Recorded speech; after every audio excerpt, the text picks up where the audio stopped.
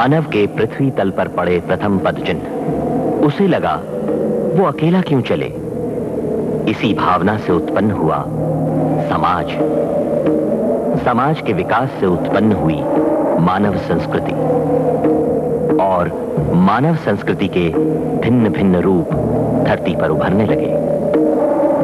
न जाने कितने युग बीत गए, कोई नहीं जानता। जब इतिहास ने आँख खोली भारत भूमि पर संसार के पहले सुसंस्कृत राष्ट्र ने जन्म ले लिया था। एक अनादि राष्ट्र पृथ्वी पर स्वर्ग और मानव में देवता के दर्शन। देवताओं की आत्मा हिमालय आदिदेव शंकर की भूमि जहाँ ऋषि मुनियों ने तपस्या करके श्रेष्ठ मनुष्य जीवन और एकात्म समाज की कल्पना का विकास किया और उन्हें साक्षात्कार हुआ। एक एक मंत्र का।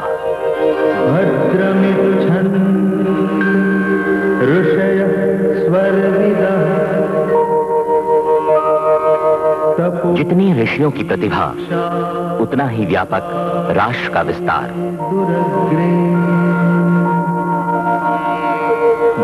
राष्ट्र भाव की व्यापकता हिमालय के उत्तुंग शिखरों में जन्मी, नदियों की धाराओं के साथ उत्तर के विशाल मैदानों को पार कर सुदूर दक्षिण में हिलोरे लेते सागर तक फैल गई।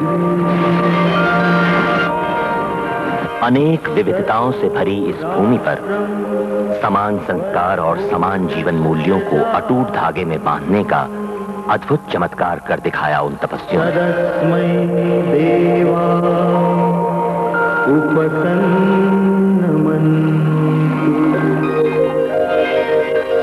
आसेतु हिमालय फैली हुई सजीव एवं वंदनीय मातृभूमि और उस पर एकात्म समाज। यही तो है हिंदू राष्ट्र की परिभाषा। मानव को सुख, शांति, समृद्धि और देवत्व की ओर ले जाने वाला राष्ट्र जीवन।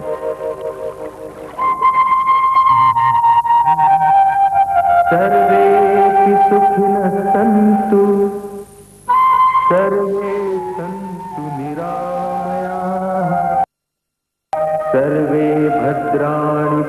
हज़ारों वर्षों तक अबाधित रहा। पर एक अशुभ घड़ी आई।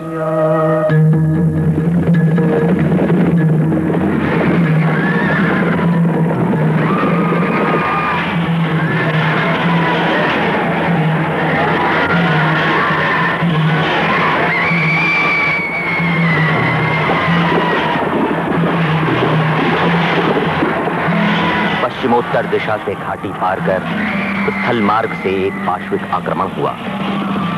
फिर तो बार बार आक्रमण होने लगे। आक्रमणों का तांता सा लग गया।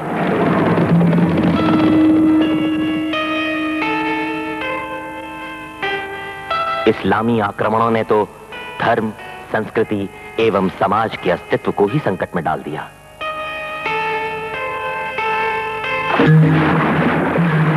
सारे संसार पर राज्य करने की महत्वाकांक्षा लेकर आक्रमण हुआ सागर मार्ग से। ये आक्रमण था हिंदू समाज की विचारधारा पर। सांस्कृतिक वृक्ष की जड़ें इन आक्रमणों ने खोखली कर दी। अंधकार अंधकार अंधकार।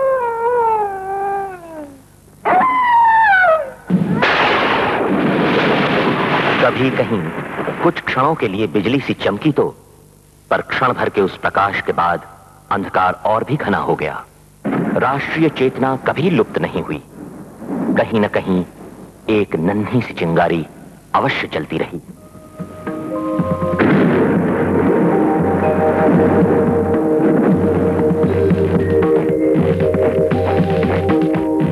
ऐसी ही एक चिंगारी राष्ट्रीय स्वयंसेवक संघ ऋषि, ब्रह्मर्षि एवं राजर्षियों के हाथों सिंचित इस महान संस्कृति का प्रतीक पवित्र भगवा ध्वज एक बार फिर ऊँचा लहराने लगा। राष्ट्र भावना का ये पुण्य प्रभाव अब तक की जमी सारी कालिमाओं को धो डालने के लिए निकल पड़ा। परंतु इस संघ के सामने था परिस्थिति का कठिन आह्वान। आशा तो ये थी कि कभी तो ये देश स्वतंत्र होगा। और इस राष्ट्र का अंग अंग विकसित होगा, बलशाली बनेगा, परंतु हुआ उल्टा।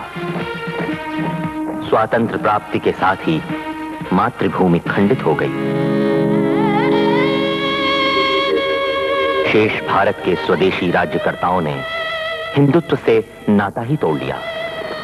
पर की ये संस्कृति के प्रभाव के कारण परानुकरण, आत्मविश्वास का अभाव और व्यक्तिगत स्वार्थ आदि विकट समस्याएँ खड़ी हो गईं।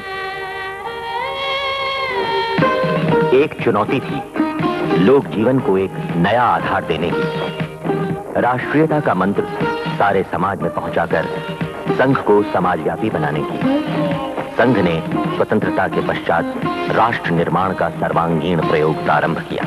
धर्म के नाम पर समाज में बहुत सी मिथ्या कल्पनाओं और कुप्रथाओं जैसे छुआछूत ऊंच नीच का भेदभाव आदि को नष्ट करने, हिंदुओं के धर्मांतरण को रोकने, हमारे मठ मंदिर और तीर्थ स्थानों आदि के पावित्र को पुनः प्रस्थापित करने, धर्म गुरुओं को समाज के दुख सुख में समरस होकर उनकी सेवा में लगाने के लिए जन्म लिया विश्व हिंदू परिषद।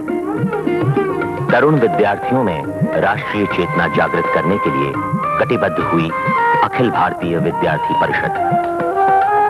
देश में सच्ची ज्ञान साधना हो, शिक्षा संस्थाएँ, शिक्षक, विद्यार्थी और पालक सब एक ही परिवार के घटक हैं। इस भारतीय कल्पना का साक्षात्कार किया है संस्था ने। में सर्वत्र गिरिकंदराओं और मैदानी क्षेत्रों में फैली जनजातियों दारिद्र पीड़ित, शोषित व उपेक्षित, सौ डेढ़ सौ वर्षों से ईसाई मिशनरियों के मोहजाल में फंसकर पूर्वजों के धर्म और राष्ट्रीय धारा से अलग हो रहे अपने बंधुओं को प्रेम पूर्वक गले लगाकर राष्ट्रीय प्रवाह में पुनः सम्मिलित कराने के लिए आगे आया है वनवासी कल्याण आश्रम। भारतीय मजदूर फंसा हुआ था वर्ग संघर्ष हिंसा और धर्म विहीनता के जड़वादी तत्व ज्ञान का प्रचार करने वाले साम्यवादी लाल पंजे। देश का औद्योगिकरण, उद्योगों का श्रमिकीकरण एवं श्रमिकों का राष्ट्रीयकरण। ये घोषणा देते हुए इस क्षेत्र में कूद पड़ा है भारतीय मजदूर संघ। लाल झंडे की जगह भगवा ध्वज और मई दिन के स्थान पर विश्वकर्मा दिन की कल्पना इसी ने दी है। संघ कार्य से प्रेरित होकर हिंदू महिलाओं की एक अखिल भारतीय संगठना, राष्ट्रीय सेविका समिति, भारतीय संस्कार व संस्कृति आदि की रक्षा करते हुए महिलाओं की सभी समस्याओं का समाधान भारतीय जीवन पद्धति से ढूंढ निकालने का प्रयास है इस मातृशक्ति का। उन्नीस सौ बहत्तर से दीनदयाल शोध संस्थान ने कार्य प्रारंभ किया। अर्थशास्त्र, समाजशास्त्र नागरिक शास्त्र इन सभी में मूलभूत संशोधन कर, उसे प्रत्यक्ष कार्य में प्रयोग करना इस संस्था का मुख्य उद्देश्य है। राष्ट्रीय स्वयंसेवक संघ ने राजनीति को सदा जीवन का एक भाग माना है। सत्ता की राजनीति से संघ सदैव दूर रहा है। प्रखर राष्ट्रीयता पर आधारित सुसंस्कृत राजनीतिक दल में संघ के स्वयंसेवक सक्रिय भाग लेते हैं। स्वामी विवेकानंद, आज के युग में हिंदू धर्म की विजय ध्वजा संसार में लहराने वाले तेजस्वी सन्यासी। स्वामी जी ने विदेश यात्रा से पूर्व कन्याकुमारी में जिस चट्टान पर बैठकर ज्ञान प्राप्त किया और ध्येय मार्ग का साक्षात्कार किया, संघ की प्रेरणा से उसी स्थान पर स्वयं सेवकों ने अथक परिश्रम से एक भव्य स्वामी विवेकानंद शिला स्मारक का निर्माण किया। राष्ट्रीय स्वयंसेवक संघ का हिंदू संगठन का कार्य और विचार केवल भारत तक ही सीमित नहीं रहा। सारे संसार में जहाँ जहाँ संघ के स्वयंसेवक गए, वहीं संघ की विचारधारा पहुँची और हिंदू संगठन का कार्य प्रारंभ हो गया। इससे विदेशों में बसे हिंदुओं को हिंदू संस्कृति और धर्म का स्वाभिमान जीवित रखने की प्रेरणा मिल रही है। सभी दिशाओं से असंख्य यात्री आगे बढ़ रहे हैं। उनके कार्यों का रूप भिन्न है, क्षेत्र भिन्न है, पर सबका लक्ष्य एक है। परम वैभवम ने तुम्हें तत्व स्वराष्ट्रम। यही है संघ व समस्त हिंदू समाज का एक रूप। एक दृष्टा महापुरुष ने यह स्वप्न देखा। उसने घोषित किया कि संघ एक पावर हाउस है। विद्युत शक्ति का निर्मित केंद्र है। यहाँ से निकलने वाली शक्ति राष्ट्र जीवन के प्रत्येक क्षेत्र को प्रकाशमय कर देगी। राष्ट्र का अंग प्रत्यंग बलशाली होगा। सौ वर्ष पूर्व जन्मे इस महापुरुष की पावन स्मृति में आज संपूर्ण राष्ट्र कृतज्ञ है, कृतार्थ है। राष्ट्रीय स्वयंसेवक संघ के जन्मदाता, एकात्म राष्ट्र जीवन की गंगा प्रवाहित करने वाले भगीरथ, डॉक्टर केशव बलिराम हेडगेवार एक कर्मठ बैरागी क्रियाशीलता का उच्च आदर्श, हिंदुत्व प्रेम के अगाध सागर। एक अप्रैल अठारह सौ नवासी, चैत्र शुद्ध प्रतिपद शके 1811 शतकर्ता सम्राट शालीवाहन के विजय तिथि पर उनका जन्म हुआ। प्राचीन धार्मिक परंपराओं से प्रभावित कुटुंब आँगन में पवित्र तुलसी घर में नित्य नियम से होने वाले धार्मिक विधि पूजा पाठ ग्रंथों का पठन पाठन संध्या वंदन होम हवन गौग्रास आदि। ऐसे सुसंस्कृत धर्मनिष्ठ परिवार में उन्होंने जन्म लिया। हेडगेवार परिवार के पूर्वज आंध्र प्रदेश के कंदकुर्ती नामक गाँव के रहने वाले थे। इन वेद विद्या परायण कट्टर धर्माभिमानी प्रतिष्ठित पूर्वजों का जीवन यवनों के अत्याचारों से अत्यंत कठिन हो गया था। भर्गो देवस्य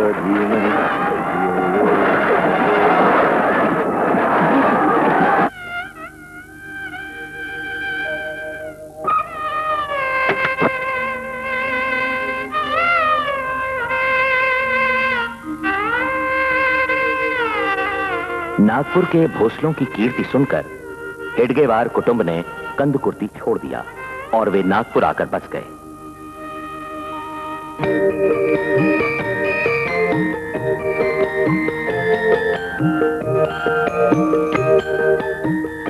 नवजात शिशु की कुंडली बनाई गई। पिता आनंद विभोर हो उठे। कोई गोपाल कहो, कोई गोविंद कहो, इन उद्घोषों के साथ घराने के कुल देवता के नाम पर बालक का नाम रखा गया केशव। केशवाय नमः। ओम नारायणाय नमः। ओम माधवाय नमः। ओम गोविंदाय नमः। ओम अग्नये स्वाहा। केशव का बचपन बीता माता पिता से पारिवारिक संस्कार ग्रहण करते। ओम सहस्र सहस्रशीर्षा पुरुष। ॐ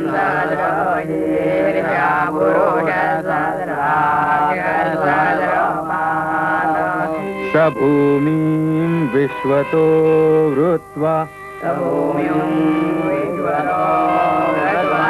त्यतिष्ठद्दशाङ्गुलम्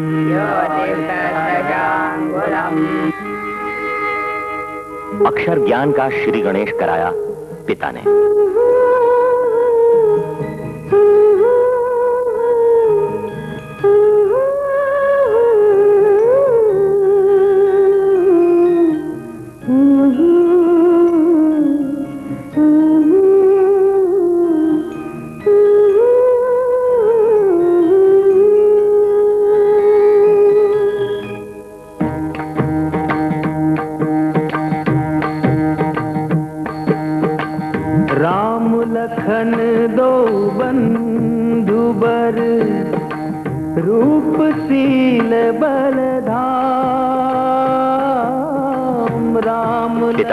पकड़कर मंदिरों में होने वाले भजन कीर्तनों में जाकर रामायण, महाभारत की कथाएँ सुनी।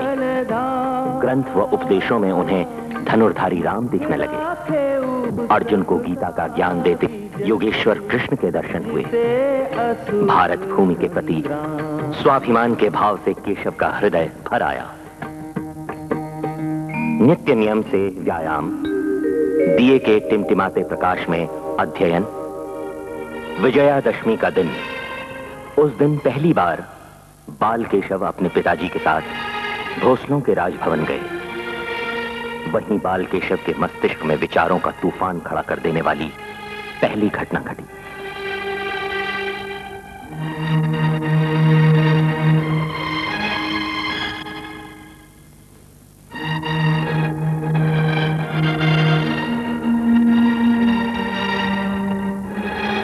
राजभवन में छत्रपति शिवाजी महाराज की प्रतिमा देखकर केशव स्वतः को भूल सा गया।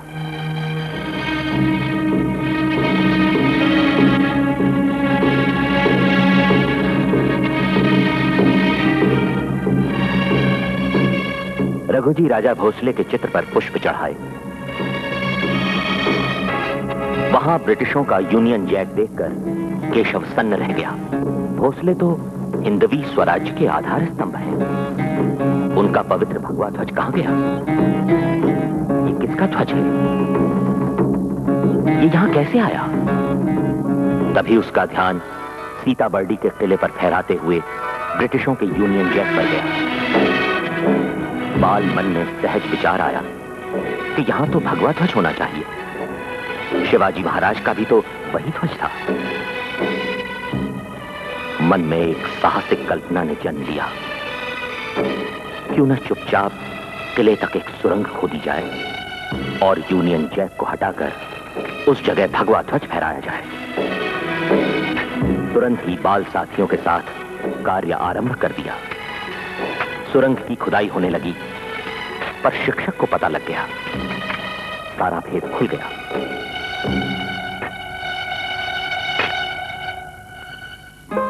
बाल केशव के विचार सुनकर शिक्षक अवाक रह गए।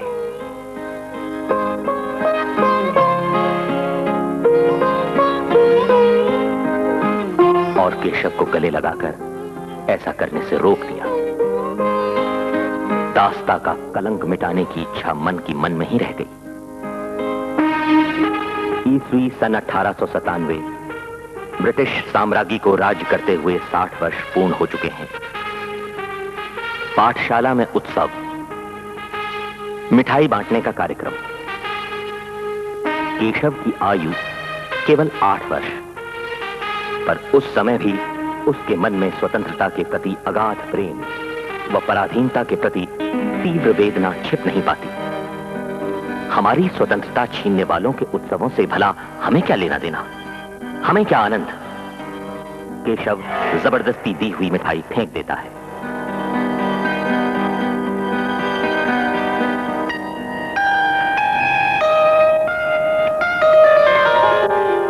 एक ओर थी देशभक्ति की ज्वलंत भावना व दूसरी ओर थी बलशाली शरीर बनाने की महत्वाकांक्षा।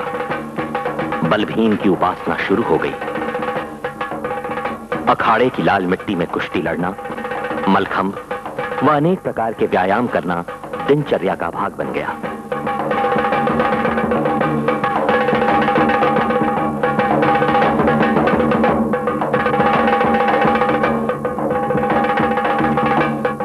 इस प्रकार केशव का जीवन गढ़ रहा था। एक वज्राघात हुआ।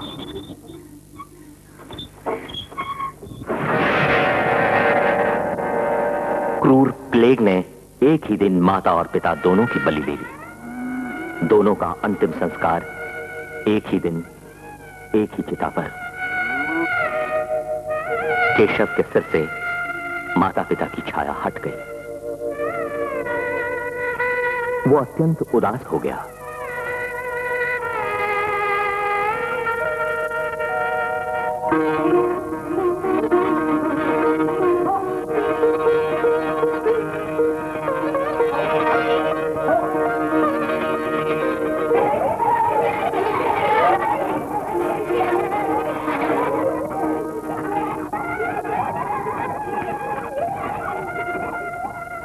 केशव की उदासी ने चेतना और धैर्य नहीं छीना।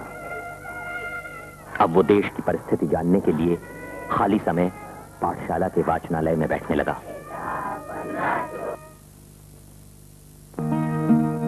पुस्तकों से भरी अलमारियाँ, समाचार पत्र व अन्य पत्रिकाओं से लदे हुए टेबल। पर इसमें से क्या पढ़ा जाए? क्या पढ़ने से अपनी महान परंपरा का ज्ञान हो सकेगा?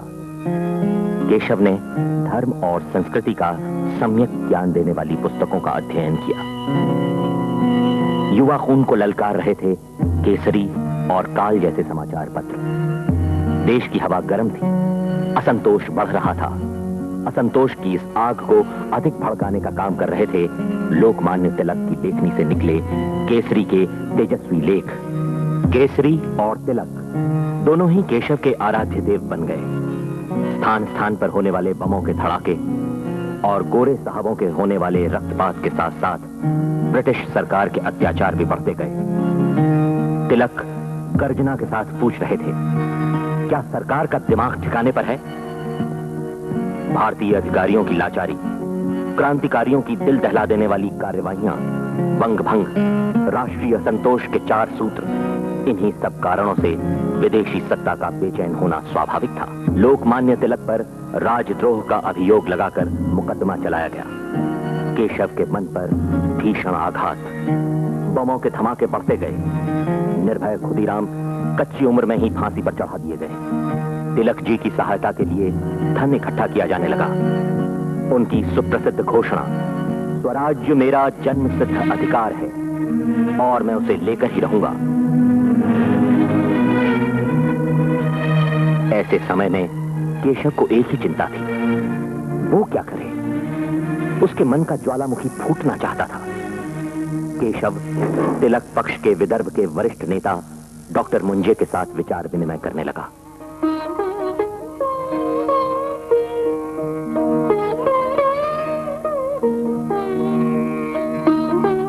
वहाँ उसने जाना कि उसे अपने मन में उठ रहे सवालों का हल स्वयं ढूंढना होगा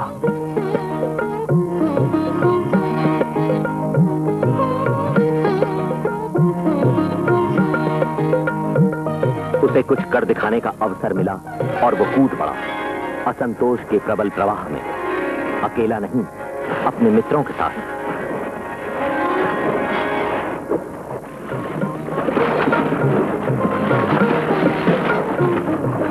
देशभक्ति के विचार मित्रों के साथ चर्चा, मन में बढ़ता रोष।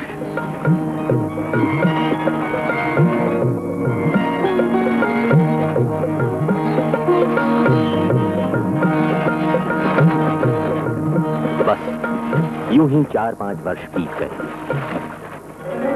दशहरे की छुट्टियों में केशव मध्य प्रदेश के रामपायली गाँव में अपने चाचा के यहाँ गया।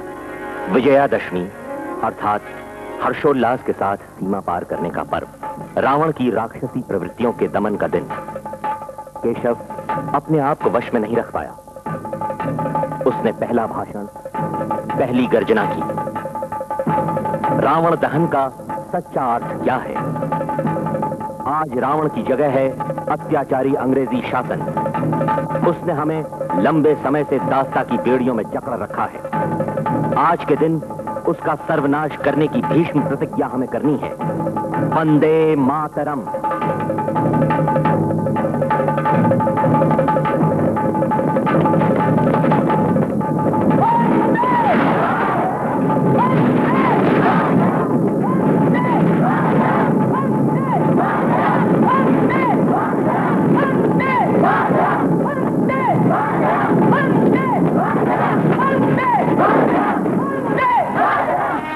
अंग्रेज़ी शासन को केशव के नाम से एक नई फ़ाइल खोलनी पड़ी।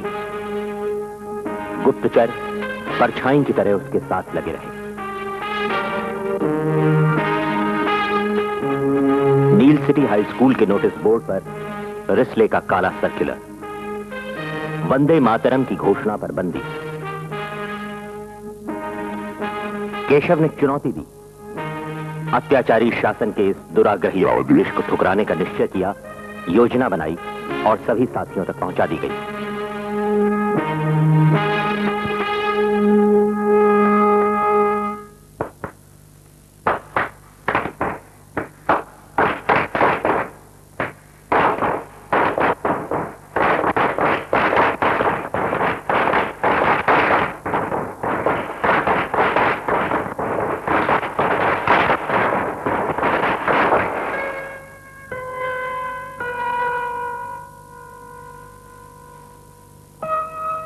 मुख्याध्यापक और शिक्षकों के साथ डिप्टी साहब कक्षा का निरीक्षण करने आए और अचानक सुनाई दी। अधिकारी अवाक रह गए। दूसरी कक्षा के पास वही घोषणा।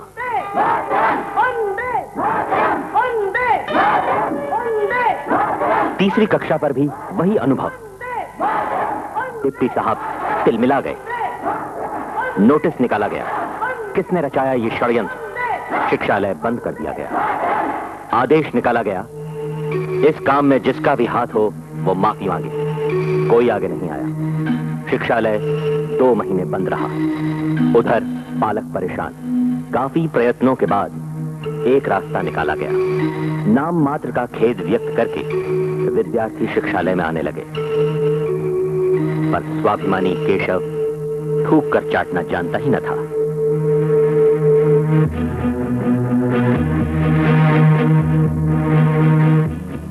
उसने क्षमा नहीं मांगी। केशव को शिक्षालय से निकाल दिया गया। अब आगे क्या?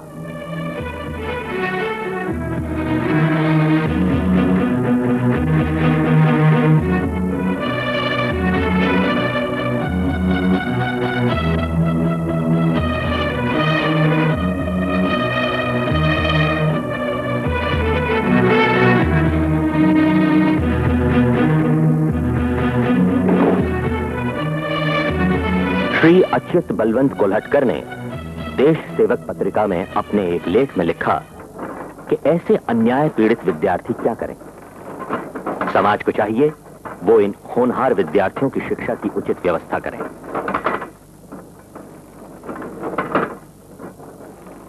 डॉक्टर मुंजे और श्री कोल्हटकर जी ने स्वयं यमतमाल में श्री बापू साहब अणे की राष्ट्रीय शाला में केशव को प्रवेश दिलाने की व्यवस्था की।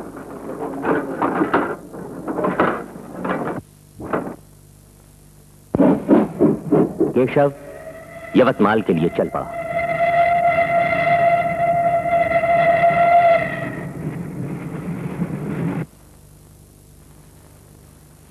पर थोड़े ही समय में वो राष्ट्रीय शाला भी सरकारी कोप से न बच सकी और बंद कर दी गई। असहाय केशव को अब पूना आना पड़ा। यद्यपि लोकमान्य तिलक केशव के आराध्य देव उस समय मंडाले के कारावास में बंदी थे। फिर भी केशव की तीव्र इच्छा थी उनका प्रेरणादायक निवास देखने की। गायकवाड़ बाड़े को जी भर देखकर अपने आप को धन्य करने की। बड़ी श्रद्धा से उसने वो स्फूर्तिदायक स्थान देखा। कर्मण्येवाधिकारस्ते मा कदा। केशव मैट्रिक की परीक्षा में सम्मिलित हुआ और फिर वापस नागपुर। मैट्रिक के पश्चात फिर वही समस्या। आगे क्या किया जाए?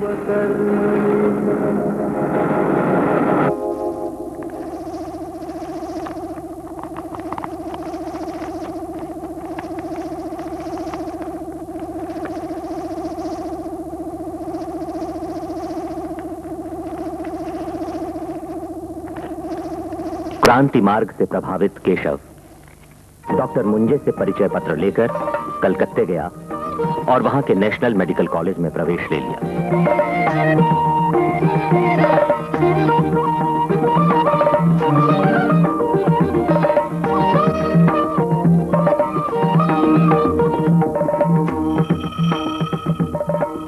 वहीं पर बम विद्या के गुरु प्राध्यापक चौधरी से उनकी भेंट हुई।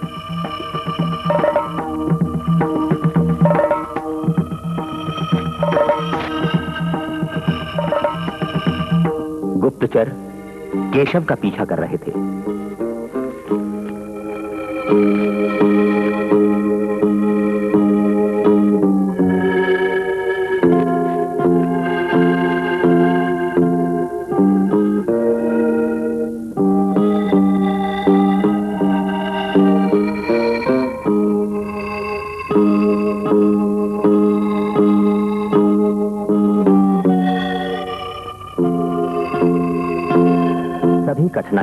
कठिनाइयों अंत में उसने अनुशीलन समिति में स्थान पा ही लिया।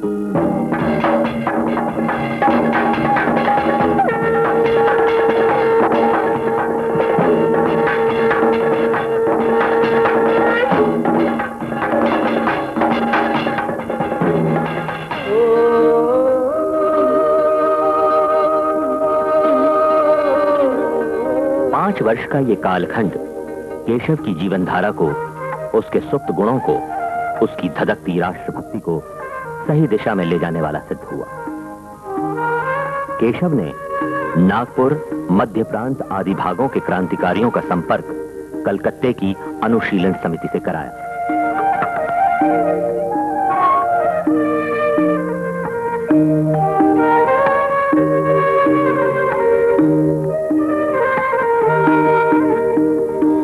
केशव बमों के पार्सल पहुँचाने जैसे खतरनाक काम भी अत्यंत सावधानी से करने लगा।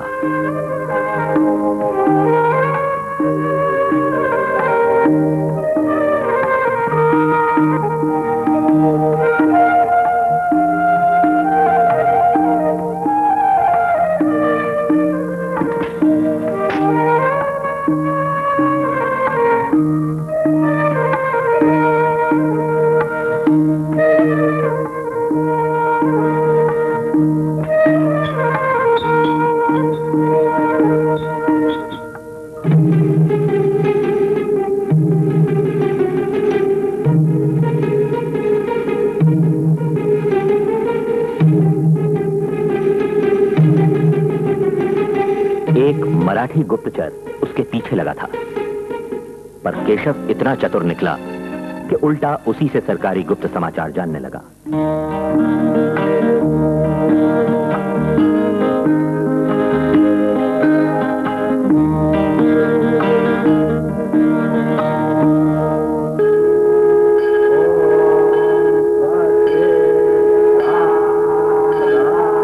गणेशोत्सव, शिव जयंती आदि उत्सवों के समय मिलने वाले सभी लोगों में से अपने विचार के मित्र बनाने का प्रयत्न केशव सतत करने लगा।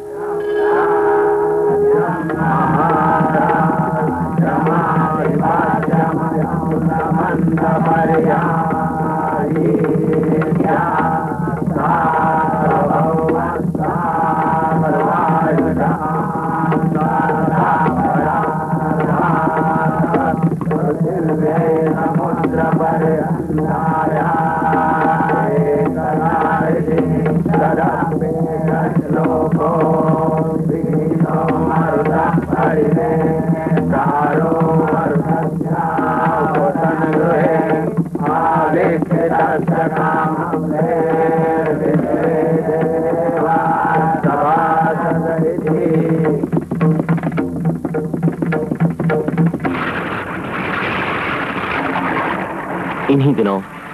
दामोदर नदी में भयंकर बाढ़ आई। हज़ारों लोग बाढ़ के पानी में फंस गए। बीमारियाँ फैलने लगी। केशव ने अपने मित्रों के साथ बाढ़ पीड़ितों की सहायता करने का बीड़ा उठाया।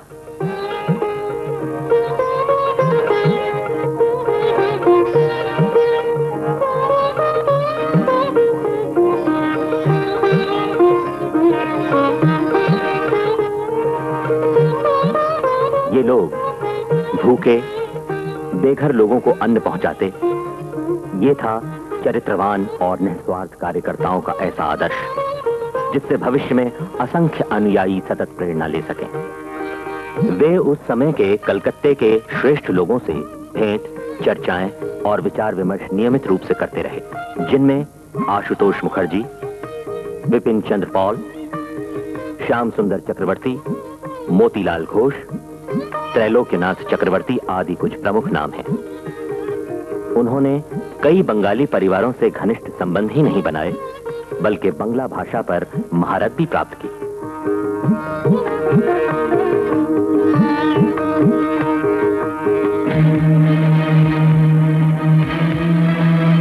एक भयंकर दुर्घटना। बम बनाने वाले स्थान पर धमाका। एक क्रांतिकारी साथी चल बसा भाग दौड़ मच गई, पर सावधानी से किसी को पता भी न चला। कौन था वो? क्या था उसका नाम? एक अज्ञात हुतात्मा। उगते हुए सूर्य को साक्षी रखकर उसका दाह संस्कार हुआ।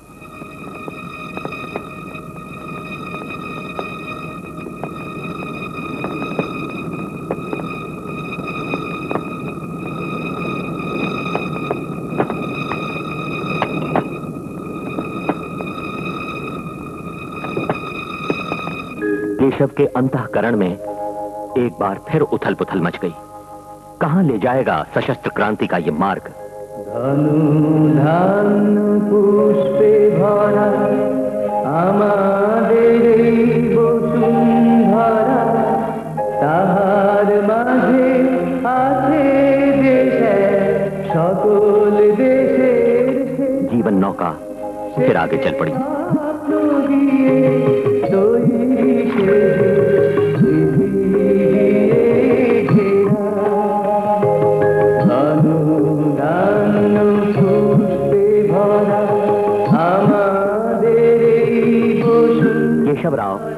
डॉक्टर बनकर नागपुर वापस आ गए।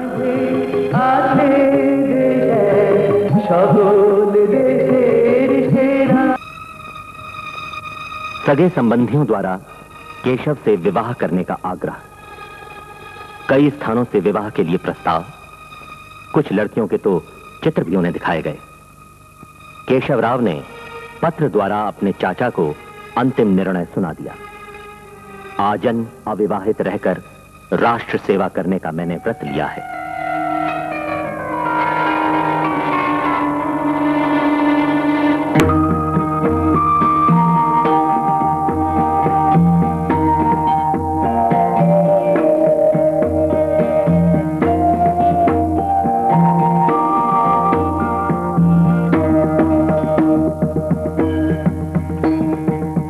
राष्ट्रीय स्वतंत्रता के महायज्ञ में अपने सर्वस्व की आहुति चढ़ाने का यह संकल्प था।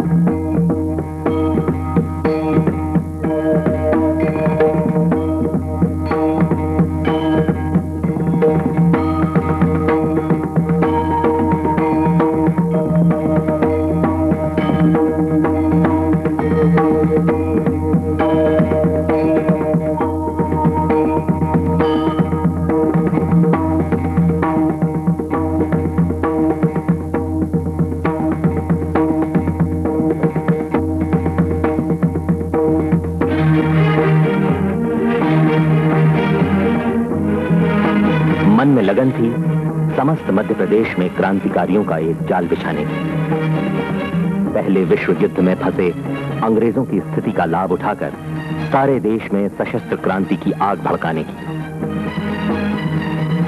परंतु लोकमान्य तिलक का कहना था कि देश अभी सशस्त्र क्रांति के मार्ग पर जाने के लिए तैयार नहीं है। इस मार्ग पर चलने वाले रास्ते में ही फंस जाएँगे। और हुआ भी ऐसा ही। लोगों का धैर्य मनोबल टूटने लगा। गुप्त बातें गुप्त नहीं रह पाती थीं। विश्व युद्ध भी समाप्त होने को था। घोर निराशा। अब तक का किया हुआ अथक परिश्रम, साहस, त्याग सब धूल में मिल गए। क्या हमारी घोर तपस्या का यही फल है? और डॉक्टर हेडगेवार स्वातंत्र प्राप्ति के अपने ध्येय से अडिग रहे। अत्यंत सावधानी से उन्होंने एक क्रांतिकारी के नाते अब तक किए हुए कार्य का सिंहावलोकन किया। उसके टूटे हुए बंध ठीक किए और उसको संवारा। फिर लोकमान्य तिलक जी से भेंट।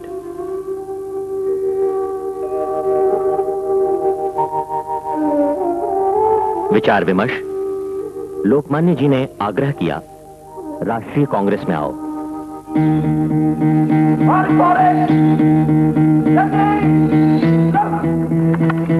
अमृतसर में जलियांवाला बाग का हत्याकांड, सन 1919 की अमृतसर कांग्रेस। डॉक्टर साहब फिर कूद पड़े कांग्रेस के आंदोलन में, तिलक जी के अनुयायी होकर। सन 1920 के नागपुर अधिवेशन में तिलक जी को अध्यक्ष बनाने का संकल्प। पर विधि का विधान कुछ और ही था। एक अगस्त 1920 को लोकमान्य तिलक जी के स्वर्गवास का दुखद समाचार वज्राघात करता हुआ सारे देश में फैल गया।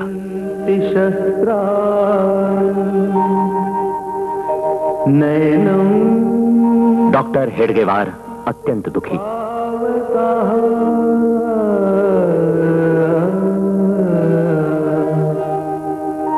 न चैदम क्लेदयन।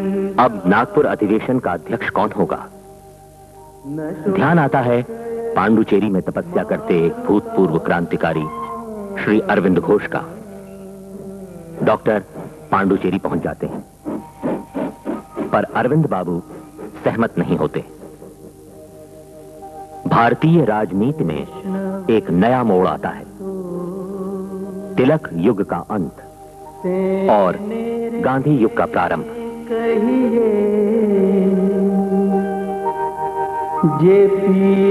गांधी जी का चरखा नए संघर्ष का प्रतीक बन गया। नागपुर कांग्रेस विषय नियामक समिति। डॉक्टर हेडगेवार का प्रस्तुत किया हुआ प्रजा सत्ता की मांग का प्रस्ताव कागजों पर ही धरा रह गया। अपनी टीका टिप्पणी में यू ने कहा कि इस प्रस्ताव को यूँ ठुकराना नहीं चाहिए था। इसी समय गांधी जी ने असहकार आंदोलन की घोषणा की और साथ ही खिलाफत आंदोलन को स्वीकार किया और मान्यता दी। डॉक्टर साहब को यह बिल्कुल नहीं भाया, परंतु वे राष्ट्रीय आंदोलन से दूर भी नहीं रहना चाहते थे। आंदोलन को तीव्र बनाने के लिए वे गांव-गांव घूमने लगे। कभी बैलगाड़ी पर तो कभी पैदल। जनता की भावनाओं को जगाने वाले ब्रिटिश सरकार की कड़ी टीका टिप्पणी और निंदा करने वाले उनके भाषण। परिणाम, डॉक्टर साहब को बंदी बना लिया गया। उन पर मुकदमा चलाया गया। डॉक्टर साहब ने अपनी पैरवी स्वयं की। अपने बचाव के लिए उन्होंने कहा, आज हिंदुस्तान में न्याय पर आधारित कोई राज्य संस्था अस्तित्व में है ऐसा मुझे नहीं लगता।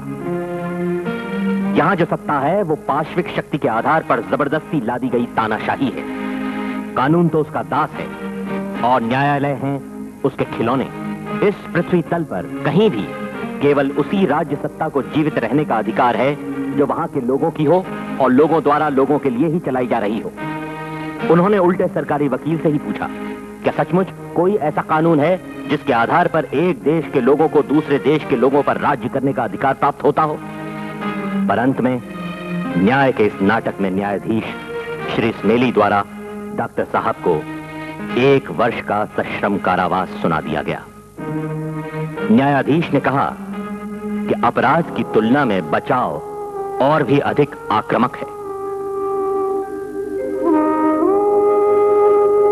वंदे मातरम 19 अगस्त 1921 कारावास का प्रारंभ।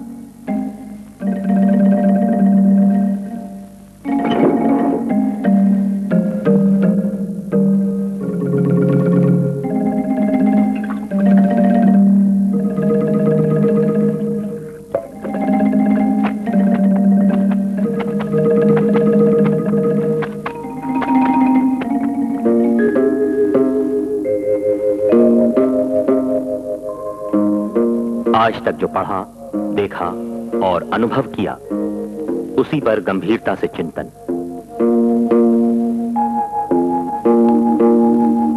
अब तक के किए हुए कार्य का सिंहावलोकन।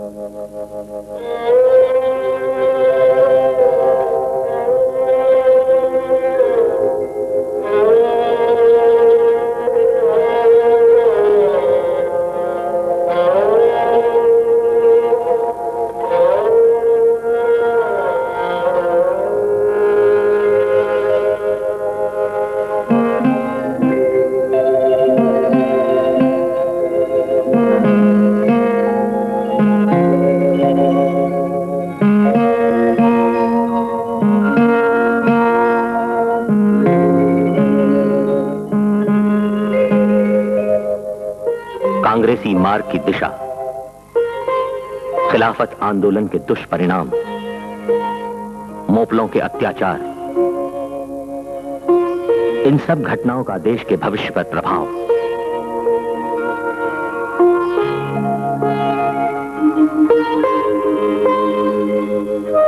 बारह जुलाई 1922 कारागार से मुक्ति।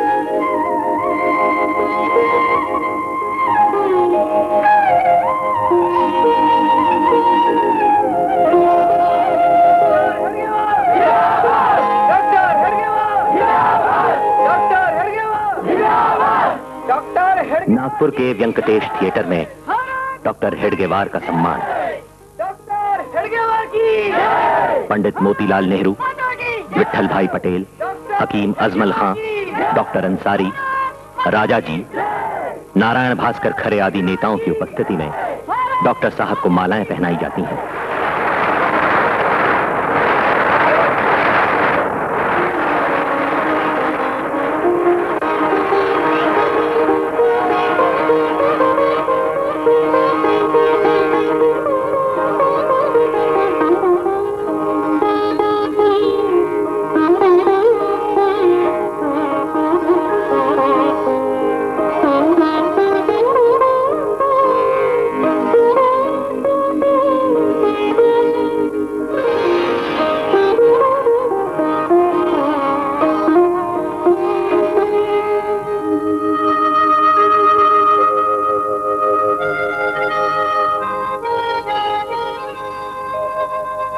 गले में तो मालाएँ पड़ी।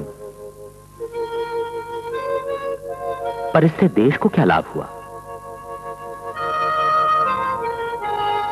देशभक्ति के विचार, मित्रों के साथ चर्चा, अंतकरण में बढ़ता असंतोष, कुछ कर गुजरने की प्रबल इच्छा, और साहसिक कार्य करने की उत्कंठा, तरुण जोशीले केशव के समक्ष। एक आह्वान था। दौरा, प्रवास और स्वातंत्र वीर सावरकर जी के साथ चर्चा। सार्वजनिक आंदोलन क्षणिक और अस्थाई सशस्त्र क्रांति का मार्ग न संभलने वाला।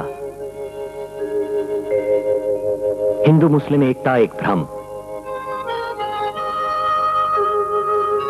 अपने राष्ट्र के अमर अस्तित्व का मर्म जानकर सुसंगठित, सामर्थ्यशाली हिंदू समाज का पुनः निर्माण आज यज्ञ कुंड रिक्त है।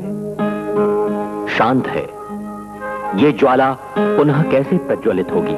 ध्येय और निष्ठाओं को नष्ट करने वाली इस आंधी में कौन जगाएगा ज्वाला?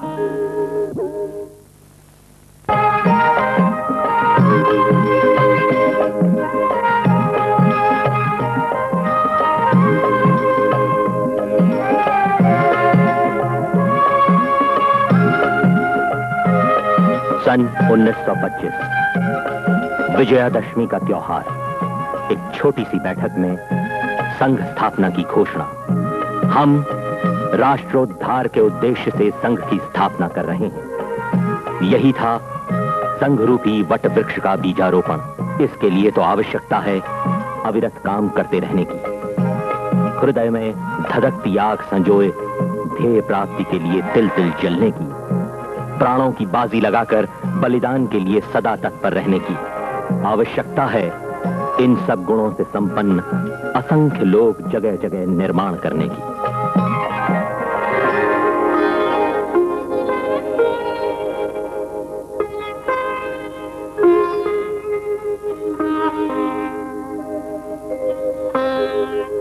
गीली मिट्टी की तरह बचपन में ही छात्रों को आकार देना है, ढालना है। अपने महान कार्य का लक्ष्य सामने रखकर कार्यस्थल सालूबाई मोहिते का पुराना निर्जन बाड़ा एक खंडहर जैसा ईंट और पत्थरों से भरा।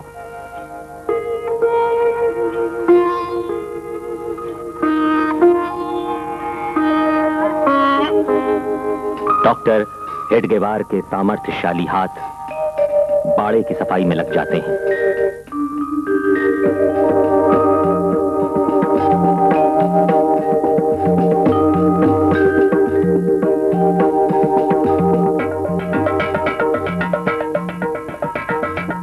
ईंट पत्थर दूर फेंके जाने लगे। डॉक्टर साहब की सहायता के लिए धीरे धीरे सभी जुट गए।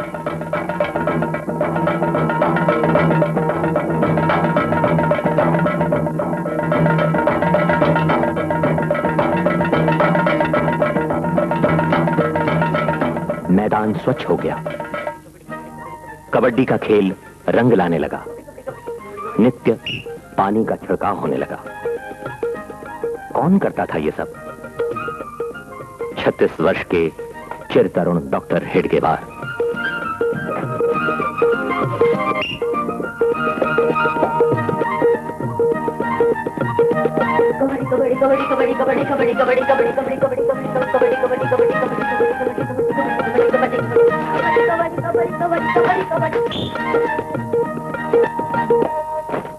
स्वयं सेवक कदम मिलाकर चलना सीखने लगे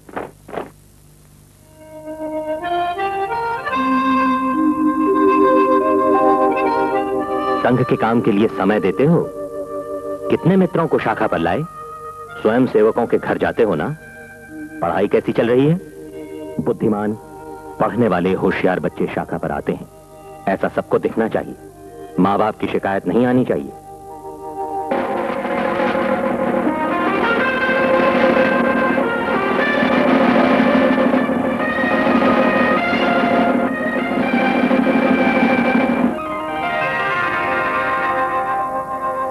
डॉक्टर साहब के साथ स्वयं सेवक बातचीत में रमने लगे। उनके रंग में रंगने लगे।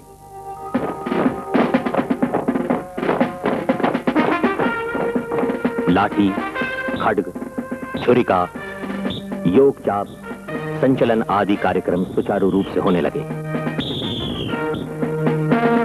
गीली मिट्टी को आकार मिलने लगा। व्यायाम द्वारा गठा स्वस्थ शरीर हो और उसमें हो विशुद्ध राष्ट्र निष्ठा से भरा हृदय।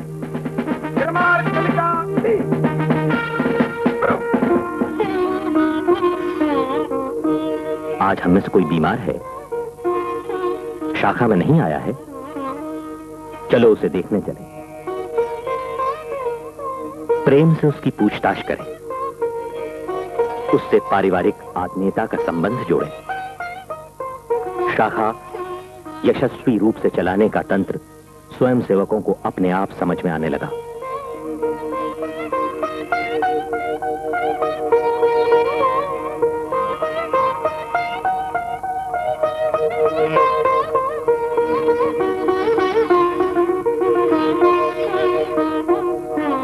उनका हंसमुख स्वभाव, प्रभावी व्यक्तित्व, निस्वार्थ, स्नेह और आत्मीयता के कारण स्वयं सेवकों का मन पुलकित हो उठता। स्वयं सेवक उत्साह से भरे होते थे। एक मस्ती होती थी और मन में एक स्वप्न होता था। शाखा विस्तार।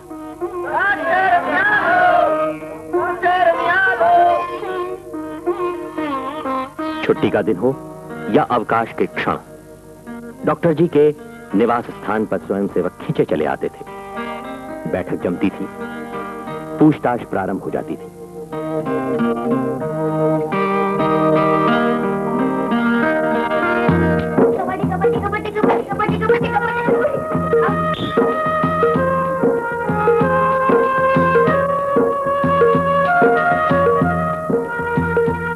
संघ कार्य का अर्थ केवल खेलना, गप्पे लगाना संचलन करना इतना ही नहीं।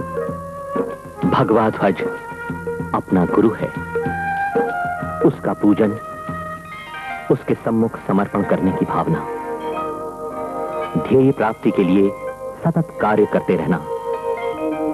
किसी व्यक्ति विशेष के लिए नहीं, आदर्शों के लिए।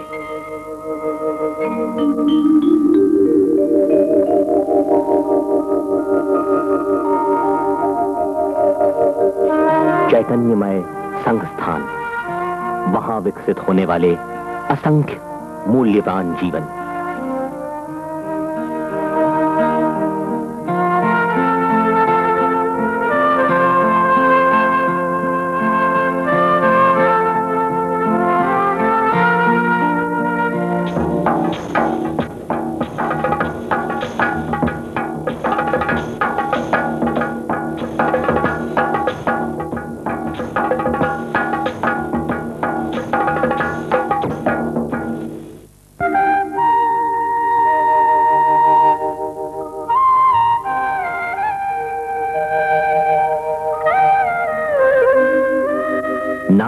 से 32 मील दूर, रामटेक नामक तीर्थ स्थान पर, प्रभु रामचंद्र जी के प्राचीन मंदिर पर भव्य रामनवमी का मेला।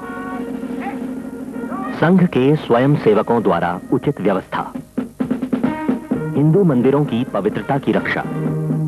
वहाँ अनुशासन तथा नई नई स्थापित संघ शाखाओं की लोगों को जानकारी।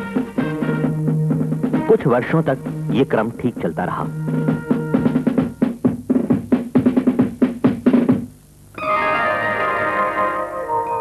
1927 में एक अप्रिय घटना हो गई।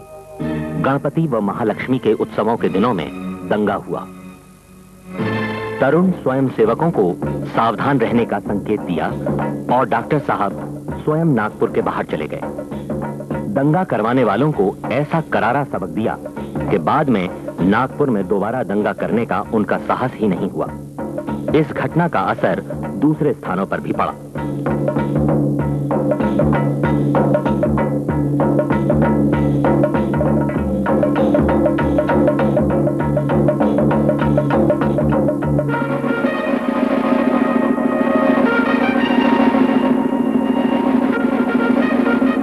नागपुर के ही पास स्टार की पॉइंट।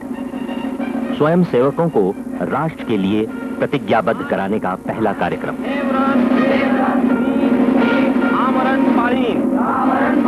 भारत माता की जय। भारत माता की जय।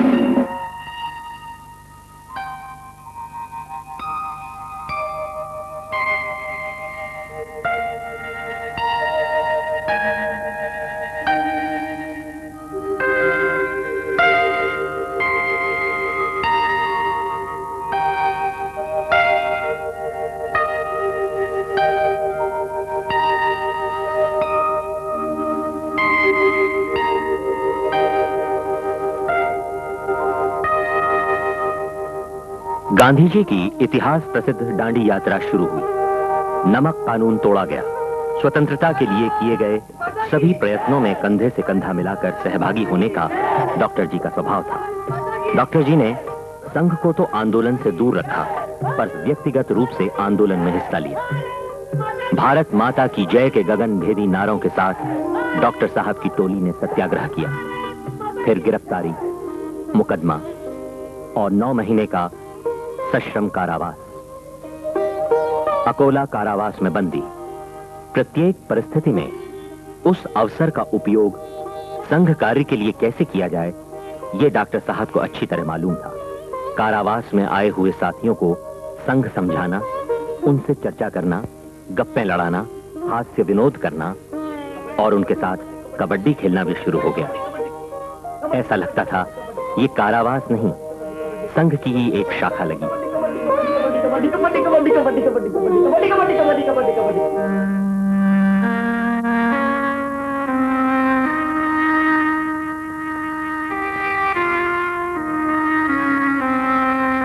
संघ की स्थापना के बाद, कार्य की आवश्यकता के अनुसार, डॉक्टर साहब ने अपने मूल स्वभाव को ही बदल दिया। डॉक्टर साहब कारावास से मुक्त हुए। उनकी अनुपस्थिति में भी संघ कार्य की वृद्धि हुई। जेल जाते समय डॉक्टर साहब ने स्वयं सेवकों से कहा था कि संघ आप ही का है। इसको बढ़ाने का उत्तरदायित्व भी आप ही का है। महापुरुषों का संघ के प्रति कुतूहल जागा। पंडित मदन मोहन मालवीय जी संघ की कार्य पद्धति देखकर फूले न समाये। वर्धा संघ का शिविर चल रहा था। तो अचानक महात्मा गांधी जी ने वहाँ दर्शन दिए। कुछ सवाल पूछे। यहाँ हरिजन कितने हैं? जवाब मिला, यहाँ का हर स्वयंसेवक हिंदू है। सांप्रदायिकता देखना हमें डॉक्टर जी ने सिखाया ही नहीं। संघ को ये स्वीकार ही नहीं। इन दिनों डॉक्टर साहब संघ की शाखाओं के विस्तार के लिए प्रवास कर रहे थे। बैठकें ले रहे थे, प्रतिज्ञा के कार्यक्रम ले रहे थे। मध्य प्रांत, वराड में शाखा की संख्या 40 तक पहुँच गई।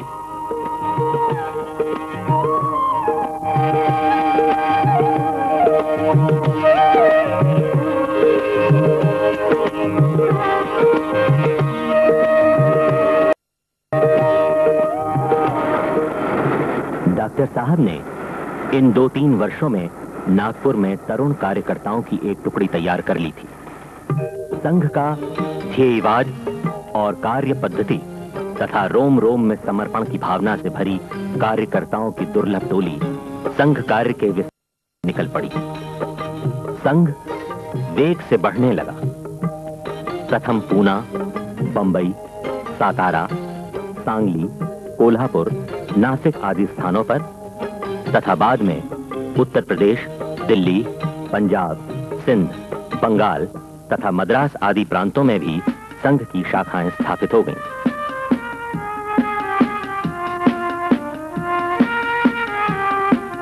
सभी स्थानों से डॉक्टर साहब का स्वयं अखंड पत्र व्यवहार चलता रहा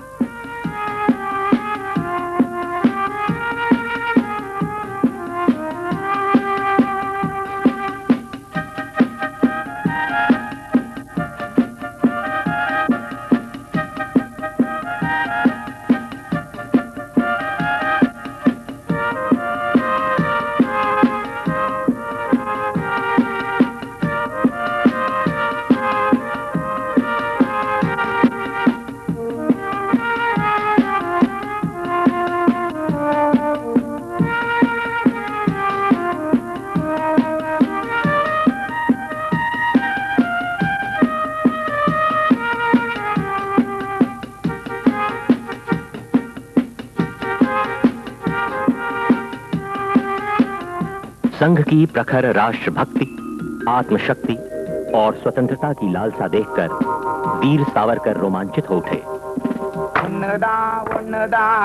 नम नाड़ तंबी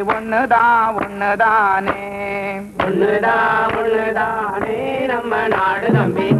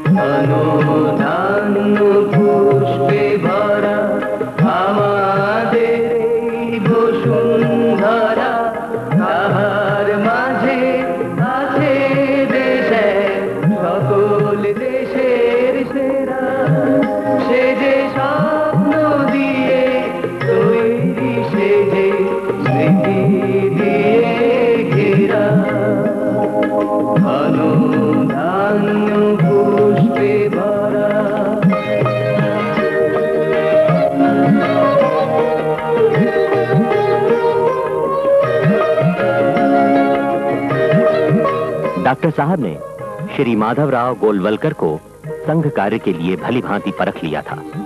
प्रवास के समय वे उन्हें अपने साथ ले जाते, महत्वपूर्ण उत्तरदायित्व उनके कंधों पर डालते, अपनी उपस्थिति में उन्हें भाषण देने को कहते।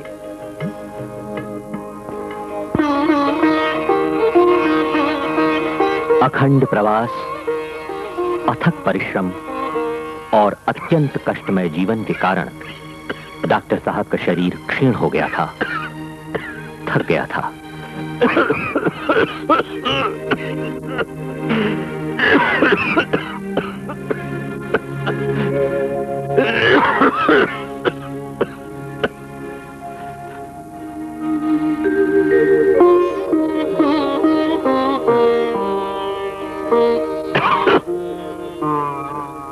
सन 1940 में पूना के संघ शिक्षा वर्ग की समाप्ति के बाद जब वे नागपुर आए तो उनका शरीर छलनी हो चुका था। पर फिर भी मन में दिन रात विचार था, संघ का स्वयं सेवकों का, देश और हिंदुत्व का। कल संघ शिक्षा वर्ग का अंतिम दिन है, जिनके कर्तव्य के बलबूते पर ही मैं हिंदू राष्ट्र की निर्मिति के स्वप्न देख रहा हूँ। उन उन मेरे हृदय के टुकड़ों से क्या मैं मिल भी नहीं सकूँगा? इस वर्ष के अपने, इस वर्ग में मैं अपने सामने मानो संपूर्ण हिंदू राष्ट्र की छोटी सी प्रतिमा देख रहा हूँ। आप सब लोगों का मुझसे तो कुछ पुराना परिचय तो है नहीं। फिर भी क्यों मेरा मन आपकी ओर दौड़ रहा है? क्यों आपका मन मेरी ओर खींच रहा है? हम लोगों की भाषाएँ भिन्न है रहन सहन की पद्धतियाँ भिन्न है, फिर भी सब स्वयंसेवक क्यों इतने हिल मिल कर रहते हैं? इसका केवल एक ही कारण है, और वो ये है कि वे सब संघ के घटक हैं। संघ की विचारधारा ही ऐसी है कि यहाँ अपरिचित भी एक दूसरे की ओर आकर्षित हो जाते हैं। यद्यपि हम यहाँ से चले जाएँगे बिछड़ेंगे। फिर भी ये कोई दुख का अवसर नहीं। यहाँ पर हमने एक महान कार्य का निश्चय कर लिया है। प्रतिज्ञा कीजिए कि जब तक शरीर में प्राण है, तब तक मैं संघ को नहीं भूलूँगा। ऐसा कहने की बारी कभी न आने दीजिए कि पाँच वर्ष पूर्व मैं संघ का स्वयंसेवक था। हिमाचल से लेकर कन्याकुमारी तक फैले हुए अपने सब हिंदू भाइयों को हमें संगठित करना है। हम यह नित्य ध्यान में रखें कि केवल शाखा के कार्यक्रम नियमित करने से अथवा प्रतिदिन संघ स्थान पर उपस्थित रहने से ही संघ का कार्य पूर्ण रूप से नहीं हो पाता। अपना महत्वपूर्ण कार्य तो संघ के बाहर ही है। संघ के बाहर के लोगों को देश की उन्नति का सच्चा मार्ग दिखाना यह हमारा ही कर्तव्य है। हमारे इस कार्य को करते रहते ही स्वर्णिम दिवस का उदय होगा। तब फिर हिंदू समाज की ओर टेढ़ी नज़र से देखने की किसी की भी हिम्मत नहीं होगी।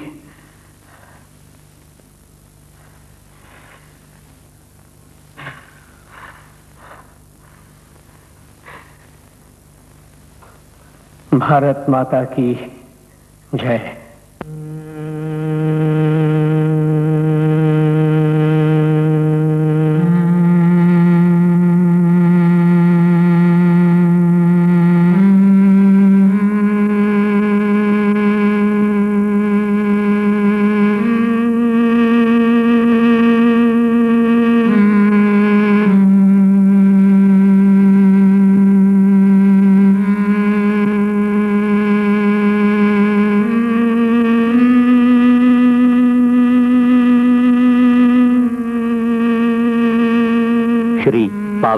घटाटे जी के बंगले पर डॉक्टरी उपचार हार मान बैठा। 20 जून, डॉक्टर साहब तेज बुखार से तप रहे थे। डूबती आँखें खुल नहीं पा रही थीं। शरीर बेसुध था। अचानक नेताजी सुभाष चंद्र बोस डॉक्टर जी से मिलने आए। पर उस अवस्था में डॉक्टर साहब को देख दो क्षण रुके, नमस्कार किया। और वापस चले गए। 21 जून 1940 को सुबह नौ बजकर सत्ताईस मिनट पर नागपुर के श्री घटाटे जी के बंगले में भारत माँ के लाडले सुपूत मातृभक्ति का सिधारा व्रत आजीवन संभालने वाले युग प्रवर्तक, राष्ट्र नेता, लक्ष लक्ष स्वयं सेवकों की स्फूर्ति का चिरंतन स्रोत, आद्य सरसंघ चालक डॉक्टर केशव बलिराम हेडगेवार की प्राण ज्योति।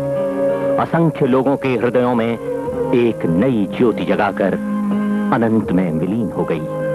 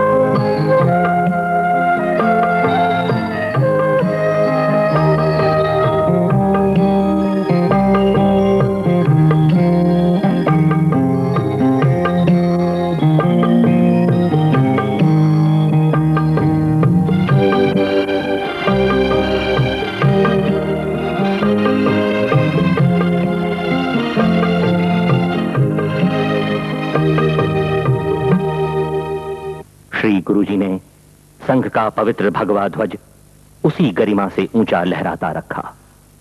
तैतीस वर्षों तक संघ कार्य के लिए अपना शरीर तिल तिल जलाया, डॉक्टर साहब की तरह।